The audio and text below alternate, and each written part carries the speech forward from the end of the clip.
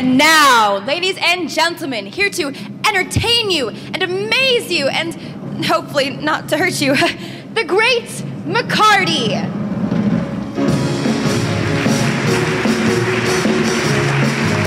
Ladies and gentlemen, tonight I'll perform for you a trick that's only been done successfully a few times.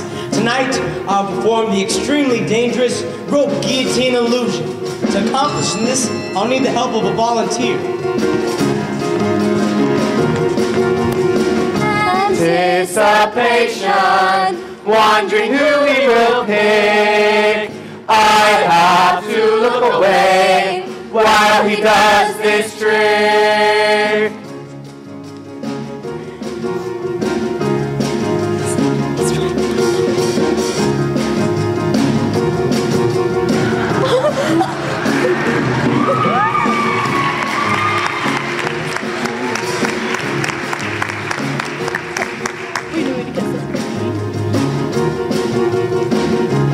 Dad.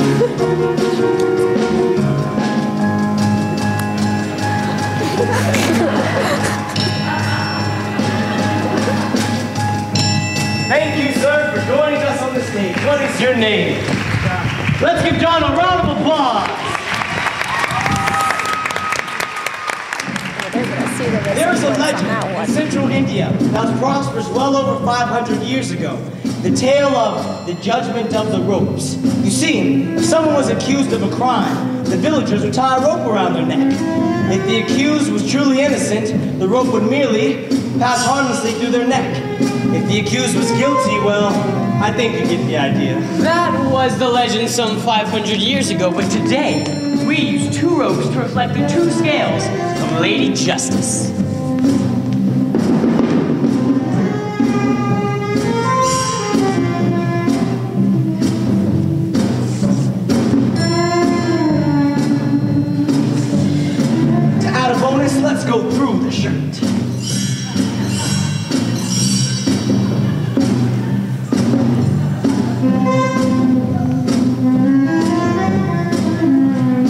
Shall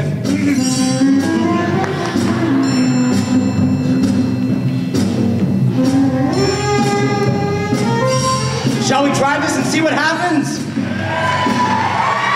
On three, me and my assistant will pull as hard as we can. Ready? One, two. Three weeks ago, the guy's eyes bulged out of his head. Sorry. One, two. Three days ago, I almost got it right. Almost. Ready? One,